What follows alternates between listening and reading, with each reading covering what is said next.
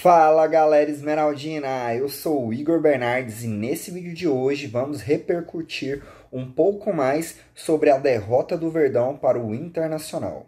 O Goiás que neste último final de semana viajou até a cidade de Porto Alegre, onde enfrentou a forte equipe do Inter, que atualmente é a vice-líder do Campeonato Brasileiro da Série A. Após a derrota, né, do Goiás, o Inter somou mais três pontos e chegou aos 57 pontos nessa competição. Além disso, é, com o resultado, né, a equipe colorada conseguiu 10 jogos sem derrota. Um dado interessante também, para se ter uma noção de como é forte essa equipe do Inter, o Inter ele não tomava nenhum gol dentro de casa há mais de três meses. Três meses sem tomar nenhum gol jogando em casa. Realmente são números muito expressivos que mostram a força do trabalho do técnico Mano Menezes à frente da equipe gaúcha. O Goiás ele já sabia, né? O Goiás ele entrou em campo como um azarão, né, da rodada. Ele já sabia que seria muito difícil bater o Internacional lá. Mas assim como foi muito difícil contra o Atlético Mineiro, contra o Santos, o Goiás esperava poder repetir aquelas ótimas atuações que ele teve, né? Atuações eficientes, né?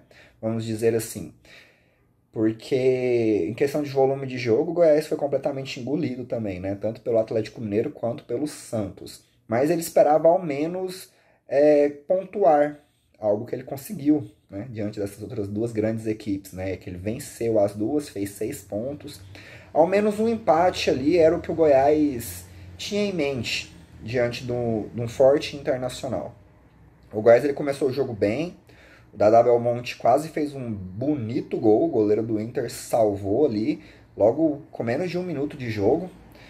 O Goiás já assustou.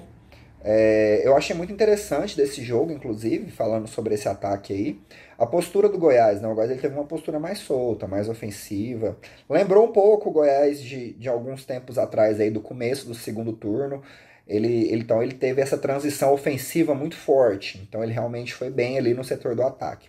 O que o Goiás pecou foi o setor defensivo. O setor defensivo do Goiás, mais uma vez, batendo cabeça.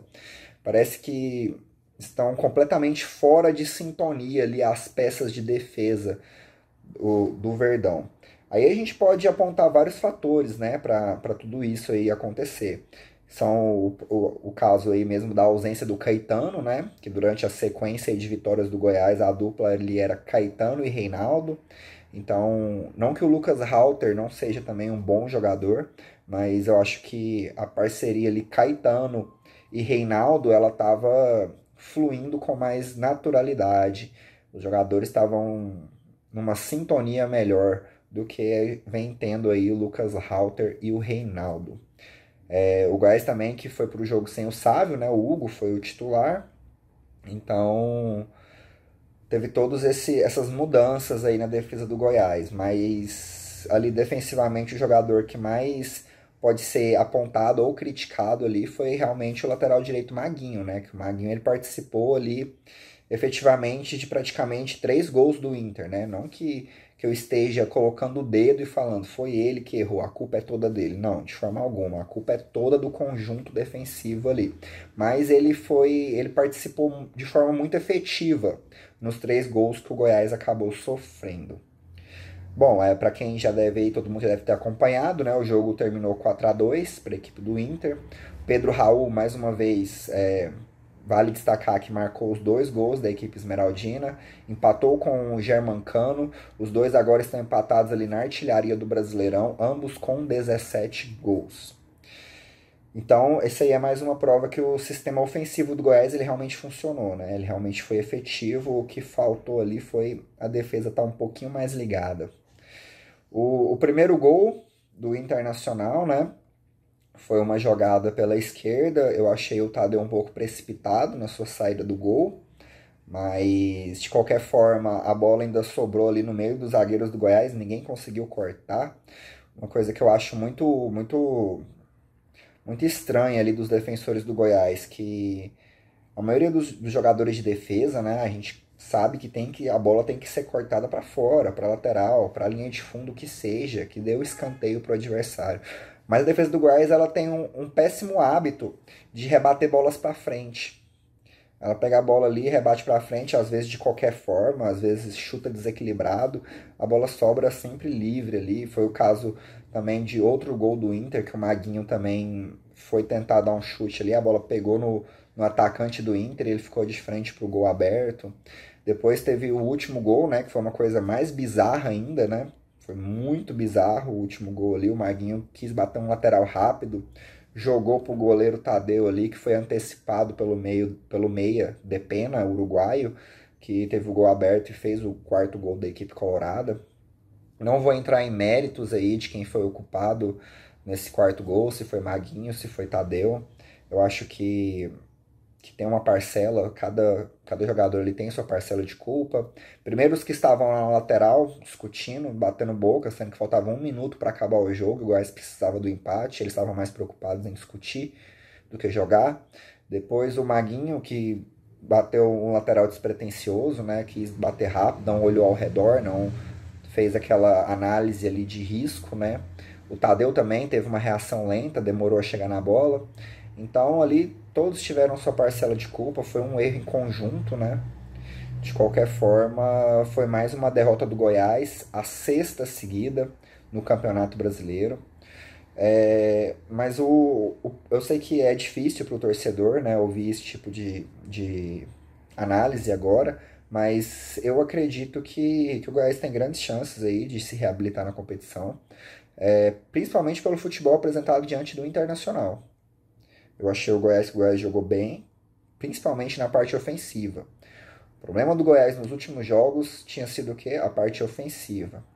A parte ofensiva do Goiás estava criando pouco, criando muito pouco, muito pouco. E nesse jogo contra o Inter foi bem, criou bastante, teve muitas oportunidades além desses lances aí dos gols, teve mais oportunidades claras de gol, claras de gol. Pedro Raul mesmo teve uma chance cara a cara com o goleiro, acabou chutando em cima do goleiro. Então o Goiás teve chances claras de gol. É, então eu acredito que se manter aí esse ritmo aí, tem tudo para poder vencer o próximo jogo. E outro ponto que a gente tem que citar, né? Tem que ser corrigido esses erros defensivos.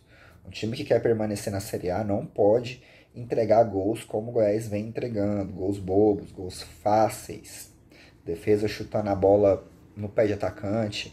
Isso aconteceu aí em outros jogos também, contra o Fortaleza mesmo. A defesa do Goiás também afastou uma bola mal e o Fortaleza fez o único gol da partida. Então foram vários aí as situações. E coincidência ou não, todas elas aconteceram desde a saída do Caetano. Mais uma vez dizendo, não estou dizendo que a culpa é do Lucas Halter, não. Só que parece que a sintonia ali não tá fechando. Até porque o Lucas Halter não participou diretamente assim de, de nenhum gol, né? Não falhou assim de forma escancarada para a gente poder apontar. Então não, não se pode pôr a culpa no jogador. Mas é como eu disse, parece que falta uma pecinha ali, falta um detalhe, e parece que esse detalhe ali, ele é o Caetano mesmo. É essa dupla Caetano e Reinaldo que tá faltando ali pro Verdão poder voltar a vencer. A boa notícia é que talvez o Caetano retorne pro próximo jogo, né? O Goiás vai ter uma semana livre aí agora para poder trabalhar, para poder recuperar seus atletas fisicamente. Então a expectativa é boa, é, vamos torcer aí para que o Caetano esteja disponível. O Goiás ele vai enfrentar o Corinthians, né? No próximo sábado, dia, dia 15, às 19 horas, lá no estádio Ailê Pinheiro. A partida será válida pela 32ª rodada do Brasileirão.